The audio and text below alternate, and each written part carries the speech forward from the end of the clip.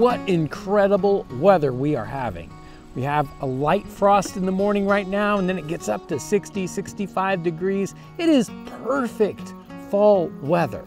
Right after fall weather, we get that early winter, and that's when traditionally butchering happens on a homestead like this. And when you butcher, you gotta be able to take care of that meat. Smoking is one of the ways to do that. And I wanna build a smokehouse for the homestead so we can start to experiment with that. So the next project that we wanna build right now is a smokehouse. We've been procuring the uh, lumber for that and we've been working on the plans for it. We've been thinking about this project for almost a year and it's really coming together on paper. It looks incredible. Um, we're going to be using a construction technique that is definitely a couple levels more sophisticated than a simple log structure like we've done with the cabin here. Something that's a lot more sturdy, but it's going to take some more time and, and definitely some more technical finesse.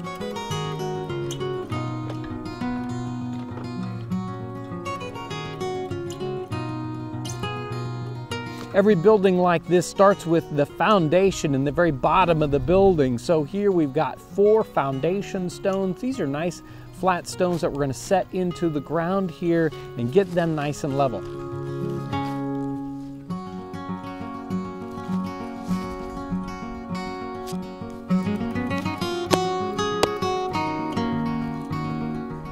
Now on top of these stones are gonna go our sill boards, I guess we'll call them. They're not really logs, but nice four by four chunks of lumber. And these get a lap joint and then a square mortise so that we can set the corner posts into them. And boy, this is gonna be sturdy when it's done.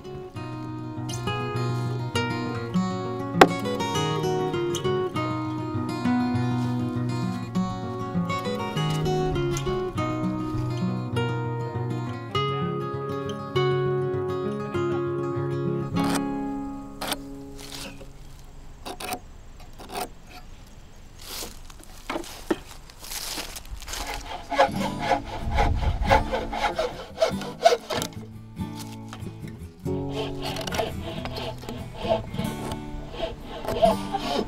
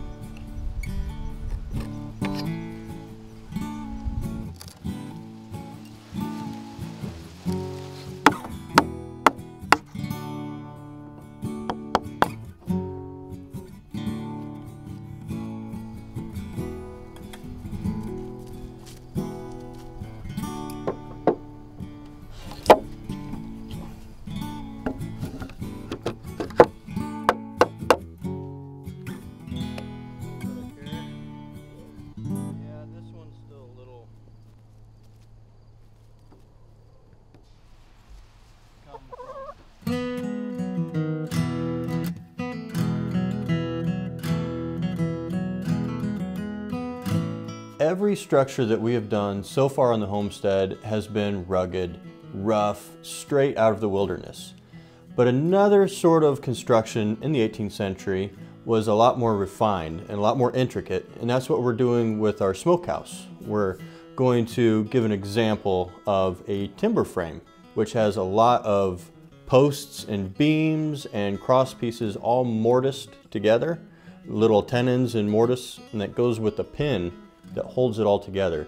This was a very, very common construction method in the 18th century, all the way up until even the 20th century.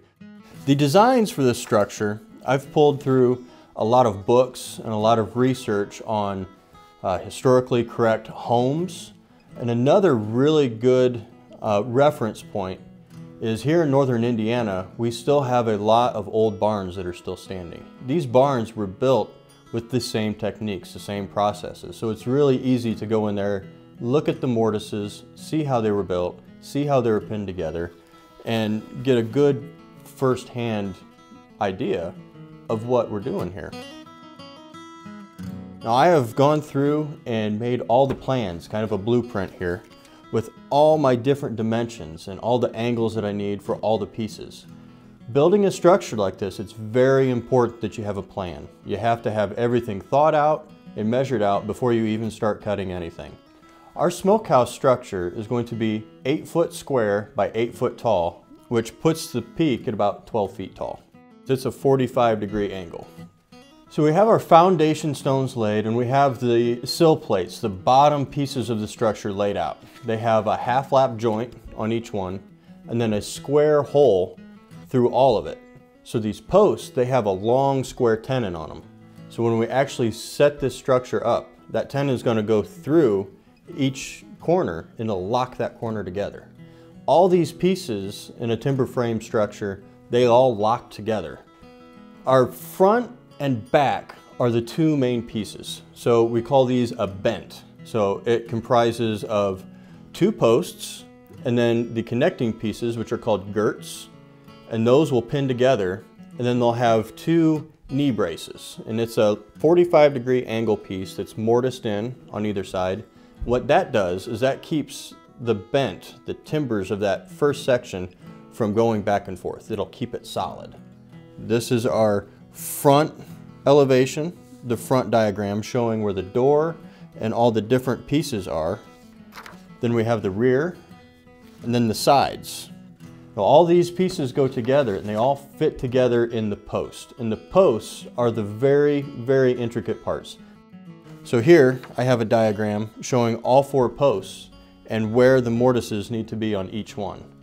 When you're making these, any mistake can ruin the piece and you have to start over because each joint has to be snug and tight and if it's off just a little bit, it won't line up and you got to start over.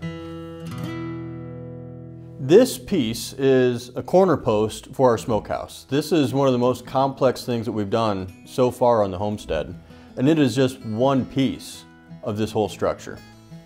Now this has all the mortises in it, and the mortise is the pockets. That tenon will fit in right like that, and we'll bore a hole through, and we'll use a pin to pin it together. When we're making these mortises and these tenons, they have to fit snug. They can't fit loose, you can't have a whole lot of play. And each one has to be made for each mortise. So each tenon, that tenon goes to that mortise.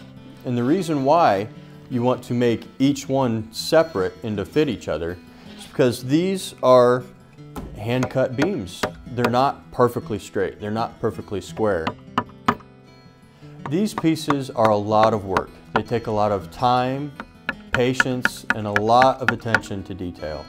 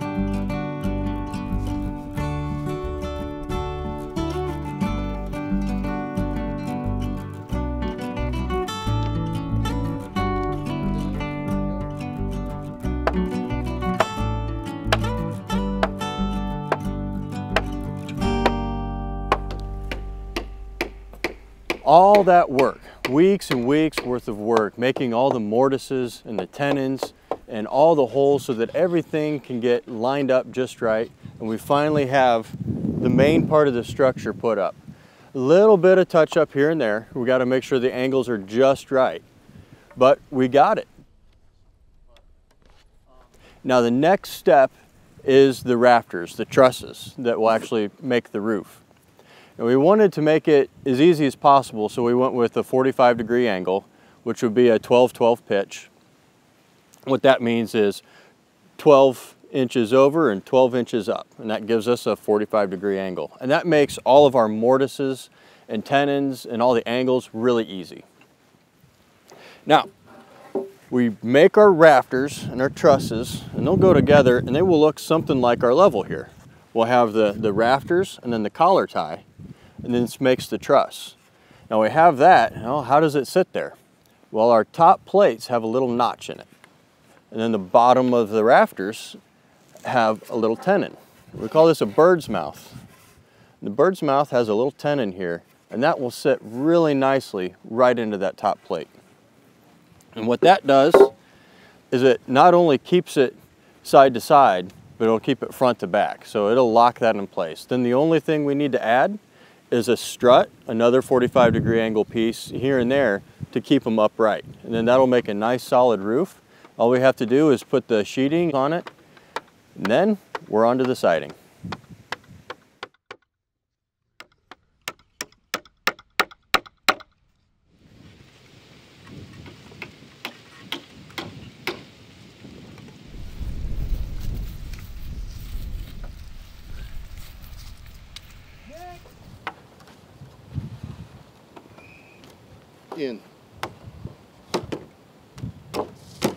Okay. Now,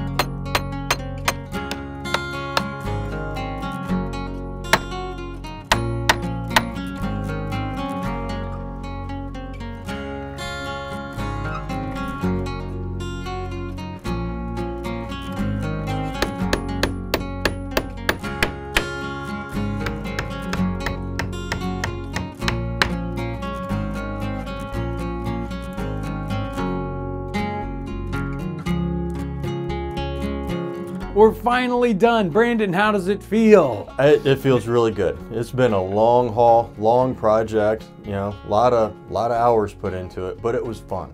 So fun just being able to go from making the blueprints and then having the raw materials to making all the mortise and tenons all the right length and in the right place to make it all fit together. It was really, really cool. Yeah, we went from well, every tree was was cut um, here off this property or off my parents' property. Every board here was from those trees. They were cut individually, every board sawn out of those trees one by one. Every shingle was split right here. Um, the hinges were forged here. The you know the hasp was forged here. And watching this come together, uh, seeing the plans, and then they actually worked out, just pretty incredible. Uh, you know all the angles, all the cuts. Uh, I'm amazed by the project, but it was a long project. It seems, I mean, you look at this from from the outside, and it's small. It's just like, oh, it's like a little little tiny shed. Only take a weekend, right? You got to be kidding. A lot of energy, but it's a completely different kind of project than we've done before. This post and beam, um, and you know, out of boards instead of logs. A major, major project and it'll be a major addition to the homestead here. Next, we're gonna get a fire going in here and Ryan's gonna hang up some meat and we're gonna talk about using the smokehouse. Thank you, Brandon. You've done an incredible job. I know it's been one major pain, but thank you so much. And I wanna thank everyone out there for watching today. Have a great day.